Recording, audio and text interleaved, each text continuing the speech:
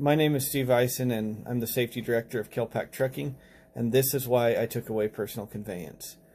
Too many people are abusing personal conveyance, and the government is cracking down. When is it okay to use personal conveyance? In my opinion, the only good time to use it is when utilizing your ag exempt miles. I'm going to need you to call me and explain how ag exempt works correctly and also, I'm going to give you some examples I got right off the FMCSA website as to uh, regarding personal conveyance. Here are some examples of appropriate uses of a CMV will off-duty for personal conveyance. The following are examples of appropriate uses of CMV will off-duty for personal conveyance include, but not limited to time spent traveling from a driver's in route lodging, such as a motel or truck stop, to restaurants and entertaining facilities. Commuting between a driver's terminal and his or her residence, between trailer drop lots and the driver's residence, and between work sites and his or her residence. In these scenarios, the commuting distance combined with the release from work and start to work times must allow the driver enough time to obtain the required restorative rest as to ensure the driver is not fatigued. Time spent traveling to a nearby, reasonable, safe location to obtain required rest after loading or unloading. The time driving under personal conveyance must allow the driver to driver adequate time to obtain the required rest in accordance with minimum off-duty periods. And that's uh, 49 CFR 395.3A1 and 395.5 395.5A before returning to on duty and resting location must be the first such location reasonably available. And I'm going to add to this one, it's always good practice to get it in writing from the person kicking you off their property and forcing you to PC out of a shipper or receiver to the nearest safe haven parking. So make sure that you get it in writing, make sure that you document it on your logs why you're personal conveying in the middle of your 10 hour break. Also, if your 10 hour break is over and you get kicked off the facility, you cannot personal convey it. You have to put it in drive. Um, number four, moving a CMV at the request of a safety official during the driver's off duty time. And again, if they ask you to move your truck in the middle of your rest, get it in writing. And if you can't get it in writing, put it on your logs. Put it notate in your logs that you were forced to move and see if you can get the guy's name and all that other stuff. Um, number five, time spent traveling in a motor coach without passengers. Oh, that one doesn't have to do with us, so I'm not going to read that. Um, time spent transporting personal property while off duty.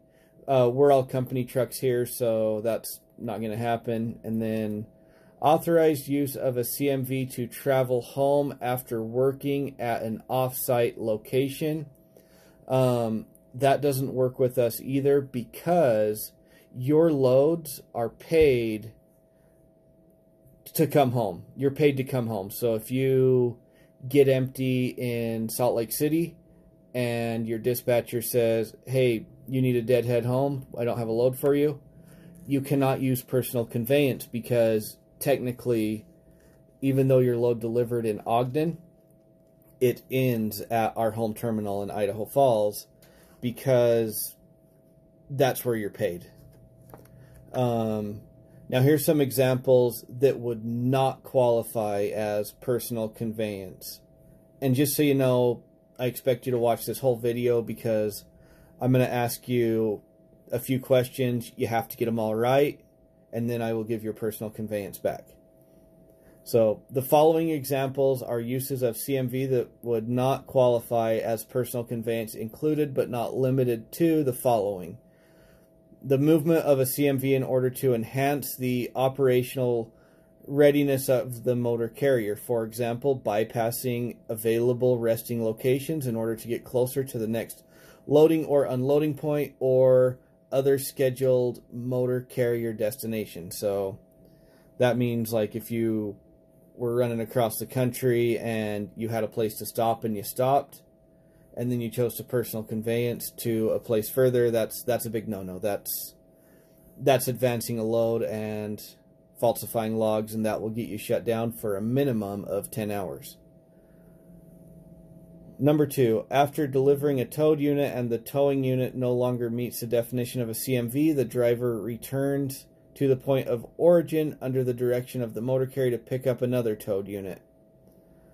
Um, that doesn't really include us, um, so we're not going to worry about that one.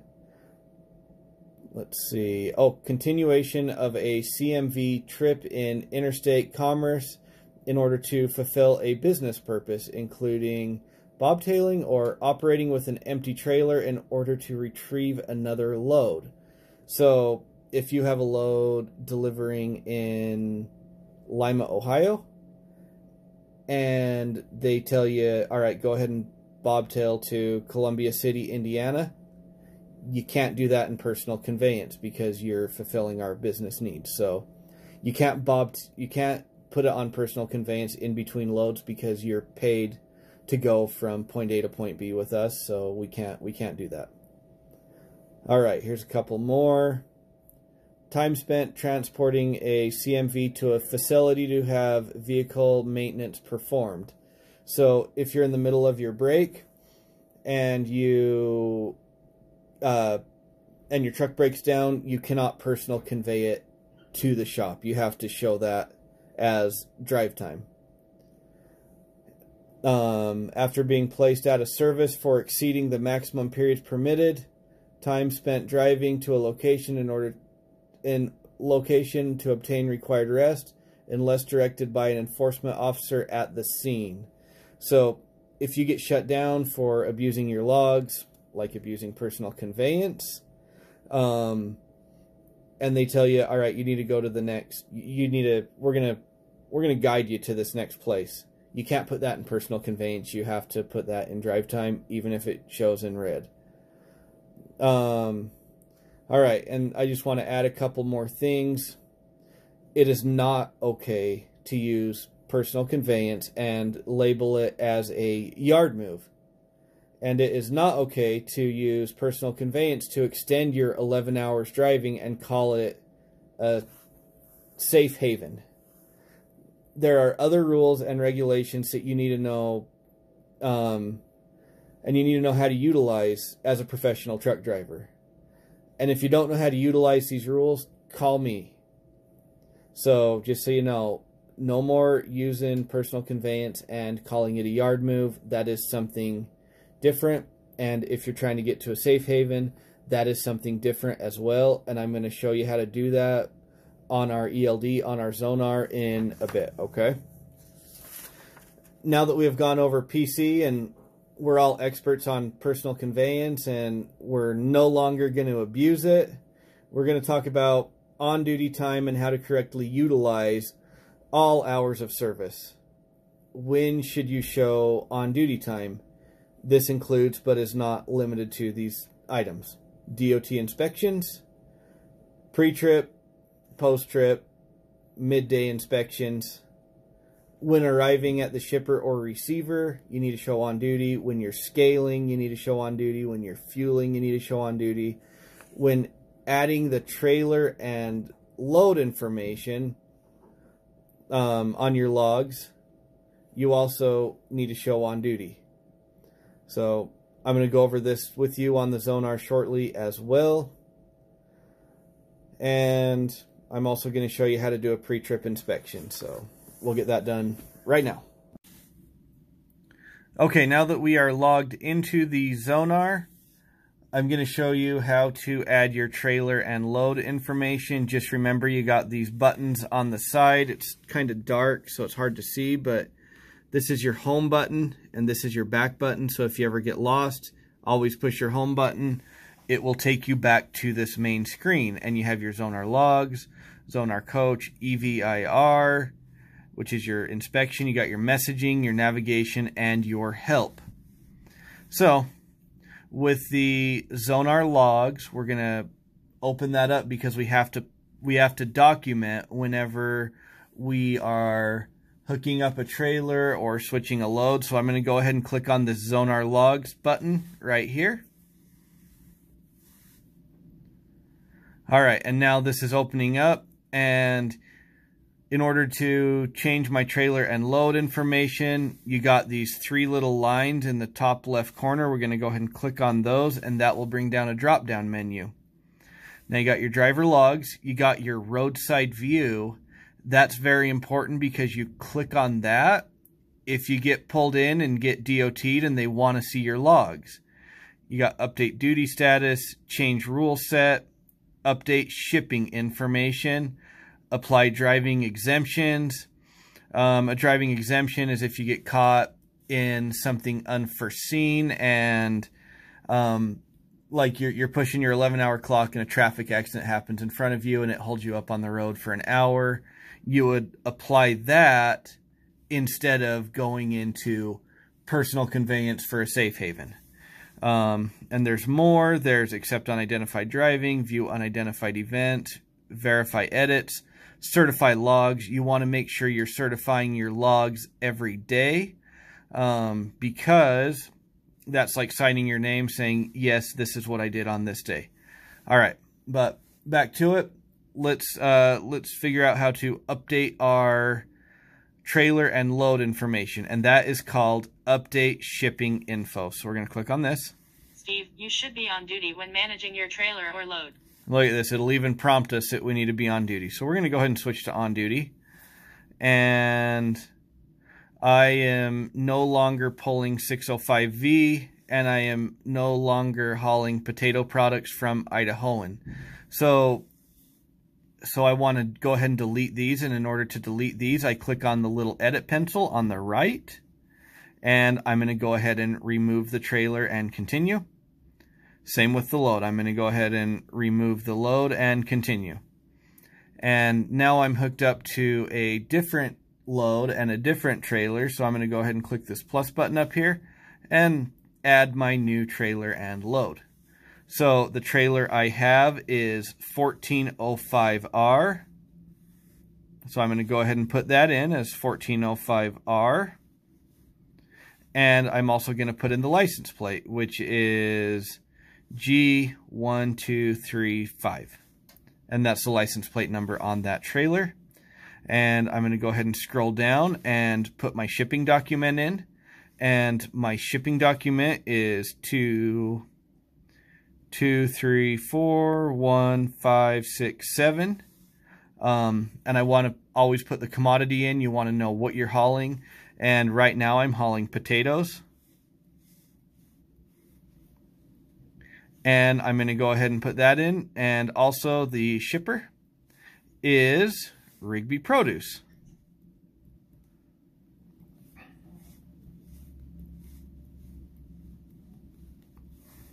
And when I'm done with that, I'm going to select Done and Save. And now it shows my trailer number is 1405R and there's my driver there's my license on my trailer and there's my shipping dock, my commodity, and my shipper. Now I am legal to start driving after I've done my pre-trip, which I'm going to show you how to do next. So in order to do a pre-trip on here, I'm going to hit my home button, take me back to the main screen. I got my Zonar logs, my Zonar coach, and my EVIR and this is your electronic vehicle inspection report. We're going to go ahead and open this. And after we open this, um, we are going to want to start a new inspection. And if you are off duty, it's going to squawk at you and saying, hey, you should be on duty when doing your inspection. if you're already on duty, it's not going to squawk at you. So I'm actually going to edit my logs and change them to off duty so that I can show you. So let's go ahead and switch to off duty and apply and total vehicle miles, one, two, three, four, five. You want to put in your total vehicle miles and the location. And I'm in Idaho Falls, Idaho. And we're going to go next and done and save. Oh, uh, annotation is required, so I'm just going to put off duty because that's what I'm doing right now. And we're going to click done and save.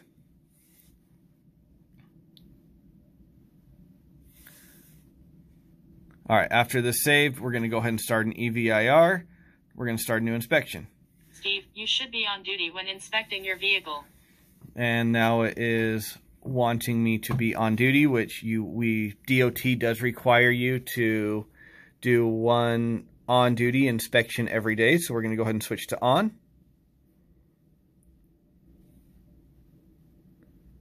And we are going to do a tractor trailer pre-trip inspection. And after we do that, we're going to go ahead and click continue. And now it's saying use the yellow area as a guide to touch the back of the tablet to the tag and hold it for two seconds. So right now I'm supposed to be scanning the vehicle's asset tag. And that is the black tag located inside your truck. So we're going to go out to the truck and scan that and I'll show you how. All right, now that we are in the truck, you see these little all right, now that we are in the truck, you see these little yellow tags, the two yellow ones and the one black one. We're gonna go ahead and scan the black one first. So what I wanna do is on the back side of this tablet, I wanna match this part up with the black button. So when I do that, the tablet's gonna vibrate in my hand and it's gonna be able to recognize the truck. So I'm gonna hold this here for a second and then it's going to want me to review my last inspection. Let me see if I can get a spot where I can hold the phone still. All right, so this shows the last inspection. Shows that on the last inspection, they scanned the tractor front, right side engine, left side engine, inside cab, compliance, tractor left rear, tractor right rear, trailer front, trailer left rear, and trailer right rear and everything has a green check mark by it so that means everything is good. So we're going to go ahead and click this little box that says we reviewed the last inspection and everything is good. Then we're going to click continue. Then we put in the mileage of the truck so we want to look at the truck and put the mileage in which is 223,698 so we're going to put in the mileage of the truck 223,698 continue all right, now this is everything we have to scan. I'm just going to scan a couple of them and then I'm going to scan the rest of them off the video so this video doesn't take forever. So if we need help scanning, we got this scan help button in the top right corner. I'm going to go ahead and click that because then it shows where the scanner location is. And I'm going to scan one of these yellow tags and I'm going to scan all the other tags as well. So once I scan this little yellow tag, this is inside the cab. And this shows your cab lighting, steering horn, and if you have any issues with any of these, like, oh, let's just say that I've my door handle broke. So if my door handle broke, I would want to click doors handles, and I want to click broken. Doors handles broken. Is it safe to drive? Uh, yes, it is. And if you want to add a note so it sends it to the shop, um, you could click Other. And we would put something like, please fix, oops, fix this when I get home. And then this is going to send a message to our shop guy. And once we complete the inspection, and it's going to let him know that we need to fix my broken door handle when we get home. And then we're going to go continue. Is it safe to drive again? Um, and if it's safe to drive, we select yes.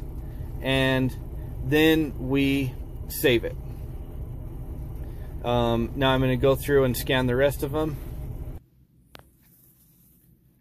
Now after I've scanned everything, there should be a little green check mark on every single one unless we've marked something wrong. And in this case, I marked inside the cab that I had a door handle broken. And after I'm done doing this, we're going to go ahead and select continue in the bottom right corner. And then we're going to certify that this inspection is accurate. And then we're going to submit it. All right, now you see right there it says upload pending, pending. Please dock the device. After we dock the device and drive for a bit, then it's going to send to our shop guy. Again, I want to thank you all for watching this video. I appreciate each and every one of you. Please give me a call after you watch this. I am going to have a few questions that I need you to answer. And after you answer those, I will turn your personal conveyance back on. I just want to make sure that everybody understands that it's it's abused too much and it's not taken lightly and DOT is cracking down. And again, I cannot express enough how much I appreciate each and every one of you. So looking forward to hearing from y'all. All right.